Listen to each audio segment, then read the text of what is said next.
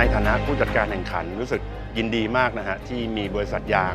มาร่วมเป็น partner กับการจัดการแข่งขันในครั้งนี้ แล้วก็รู้สึกว่าเราโชคดีที่ได้บริษัทยางที่เข้าใจในกีฬามอเตอร์สปอร์ตเป็นอย่างดี แล้วก็ให้การสนับสนุน ด้วยดีตลอดมานะฮะถึงแม้เราจะเริ่มไปปีนี้เป็นปีแรก แต่ว่าหลายๆอย่างเนี่ย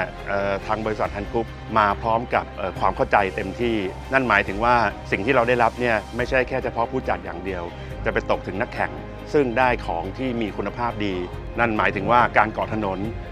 ความคงทนของยางที่จะใช้ในการแข่งขัน ซึ่งผมคิดว่าเหมาะมาก ๆ กับการแข่งขันใน endurance ในครั้งนี้ เพราะว่าเราแข่งขันกันทั้งหมด 10 ชั่วโมง แล้วก็ยางแต่ละครั้งแต่ละชุดก็ยังไม่รู้เหมือนกันว่า จะอยู่นานแค่ไหน แต่เชื่อว่าคงจะคุ้มค่ากับการที่มาเป็นยางสนับสนุนของรายการนี้ครับ